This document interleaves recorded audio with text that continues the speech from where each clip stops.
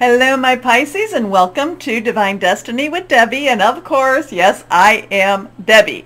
So I'm reading for February 11th through the 17th. We are coming closer to your season, so almost time to say happy birthday to you. All right, now I've done an overview. Oh my goodness, what did I call it? Something about uh, no matter what happens, stay chilled. Things are interesting, of course, always are interesting, aren't they? Things are happening in the in the um, in the sky. So take a peek at it if you would. Also remember, these are general readings. They may or may not resonate. Take what you like. Leave the rest. Okay? Okay. So my Pisces, we're coming closer to your season. We're getting, you know, you're you've got to wrap things up. But there's also an ending of a situation coming for you or coming to you. There's an ending of a situation. You have done absolutely marvelous in how you have helped dealt with it. You are, you know, and so what's going to happen is you're going to get to that point and you're going to transition up. Okay, there's a lot of up transitioning energy I'm feeling for you, and I don't even know what that's talking about, but again, my job is just to deliver. And, you know, I don't have to always understand, but I feel like you're transitioning and you're delivering up. Okay? So that could be about ascension. Maybe you are going into that third to fourth or fourth to fifth dimension. Um, but you have to stay very focused. You have to be very much, I've been getting a lot of the King of Swords, King of Air energy. You have to stay, you have to stay focused on your steps. Okay? Keep your focus on your steps that keeps coming to me. Okay, so let's see. What else is there? What about for this week? What about for this week, Holy Spirit? What is there February 11th to the 17th for my Pisces? Stay very focused on your steps. Um, just know each, yeah, each step. Again, transitional energy, very world energy, very much like, yes, you, you've come circled and you have really done very well and get ready because once you hit that uh, hit that plateau you'll stay there for a little bit of time and then you will be moving forward again. So let's see if I can get this in focus. There we go. Let's see what we have for our Pisces. These two are reversed. That has a little bit more but umph to the meaning. Here we go. First card is four of Michael so four is stability organization and leadership Michael is air energy. It is sword energy. It is our Aquarius, our Gemini, and our Libra. A lot of things going on in Aquarius right now, and it's like this is the time. Yes, you do need to have things wrapped up. You you know because you're getting ready to start your own um, year, if you want to say that. But yet at the same time, Pisces ends the astrological year, so you've you've got kind of a couple of things going on with your as we come closer to your season. So um, Aquarius, Gemini, Libra, uh, thought processes, thinking things through, making some plans. Things are happening around you, but the making the plans is something that I really want you to focus on, okay?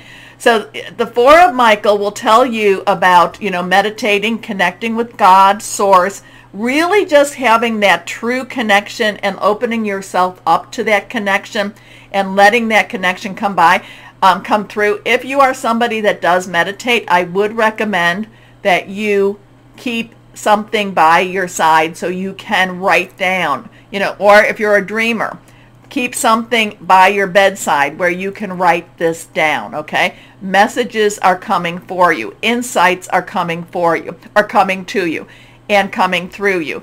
You are, like I said, there is like you are completing a cycle and you're ready to start and this is going to help you transition forward. Insights that come from quiet meditation, the need for more sleep or time off, seek relief from stress. I love that. There she is in a beautiful little area with all the with the water flowing. And even though this is air energy, there is water around her and she's taking a nap. She's resting. She's enjoying the ambiance. Okay, next card is reversed. King of Ariel. So King's underlying energy is air. Ariel energy is earth. So we have air and earth. Now, and you are water. So Ariel is our Capricorn, our Taurus, and our Virgo. Remember, Capricorn has, what is it? Uh, Mars has transitioned into Aquarius. Venus is just about to transition, holding on a little bit longer. transition into Aquarius, and then we have a lot of things going on with Taurus still. You know, a lot of strong energy with Jupiter and with Uranus. Um, and also Virgo, there's Virgo energy here too. Money, job, career. So whatever this is, whatever this is transitioning, you are we're very, you know, you have made a success of yourself. You have made a success of your project. You have come out shining with this. The king of Ariel is a subject matter expert. The king of Ariel knows his business, knows what he needs to be. Now, you may doubt yourself with this, my Pisces, but you know a whole lot.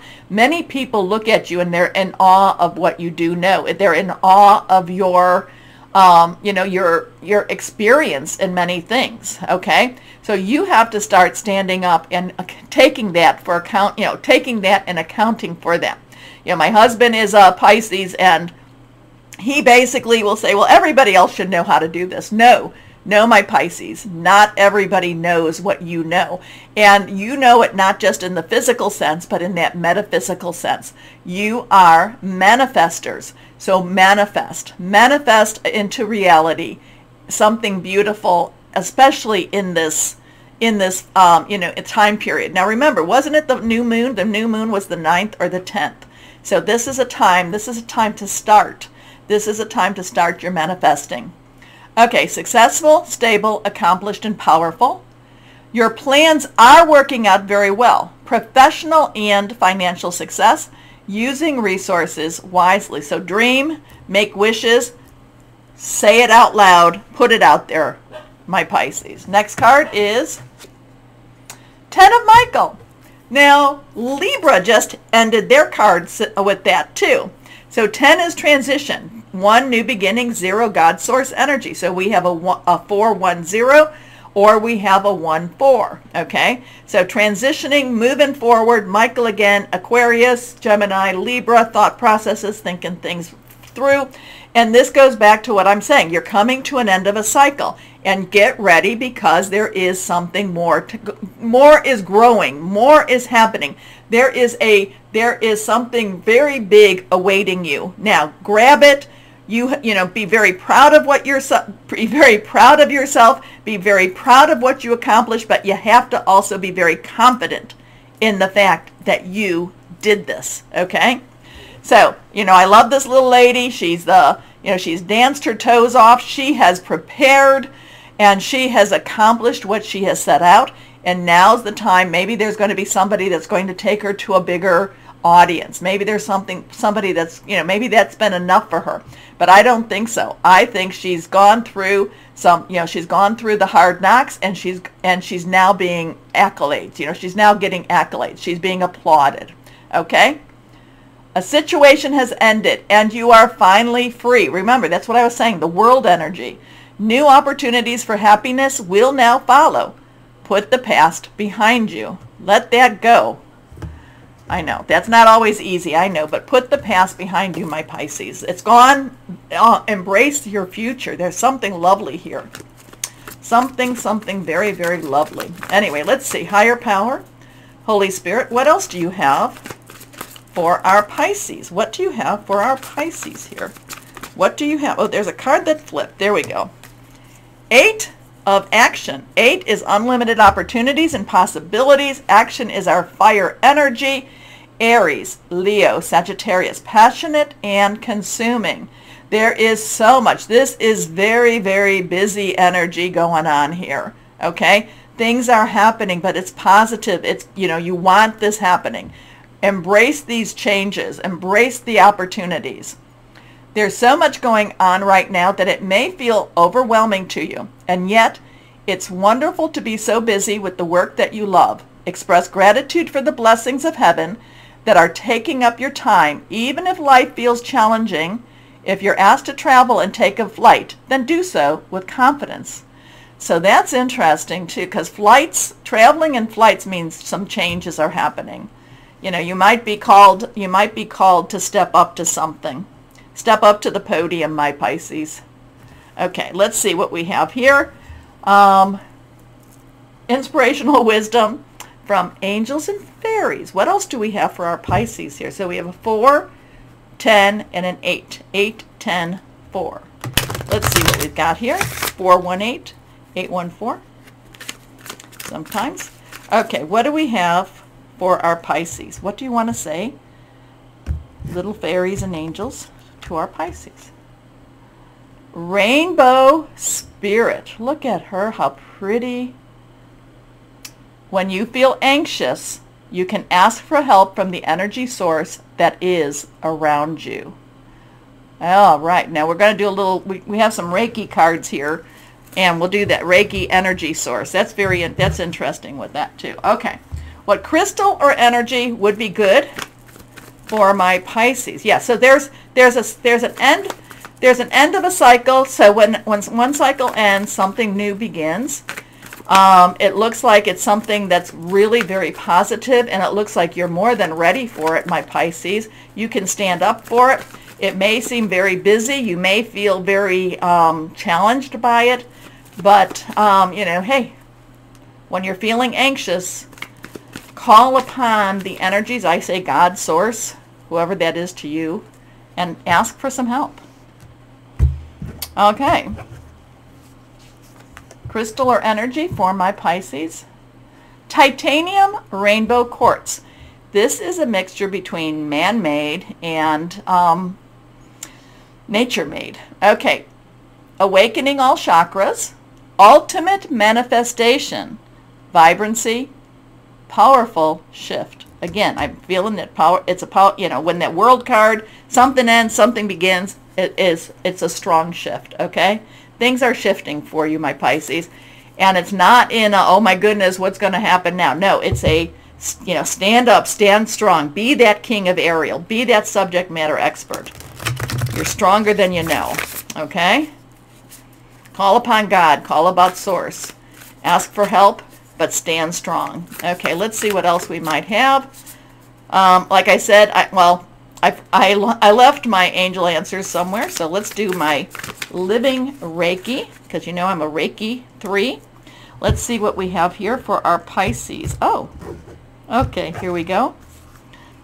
My Pisces, reversed.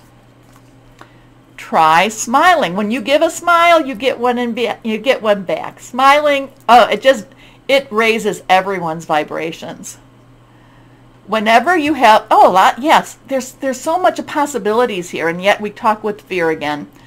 Whenever you have a fearful thought, try smiling, because psycho psych psychology can follow physiology. Or in other words, change your body and you can change your mind. Try it. It's really hard to worry or be afraid with a smile on your face. What? I love that. So whenever you have a fearful thought, and remember, yes, I, I say this a lot, fear is one of the tools of the devil to keep you from your blessings. So whenever you're having a fearful thought, try smiling. I love that. I love that for you, my Pisces, because there's a there's a shift. Not always easy, but there is a shift. Okay, there's a shift. Not always easy, but it's a good shift. But there's can be people can be afraid to make those changes. We can always, you know, what you know, shifting is is things that change can be very scary, but go for it. Anyway, my Pisces, do me my favor. Like, share, subscribe, click on the bell for notifications. It, you really helped me, and last week was amazing, so thank you all. As all, oh, I'm on Rumble too, so rumble me. As always, though, my Pisces, always know that you are loved, stay shining, and be blessed. Bye-bye.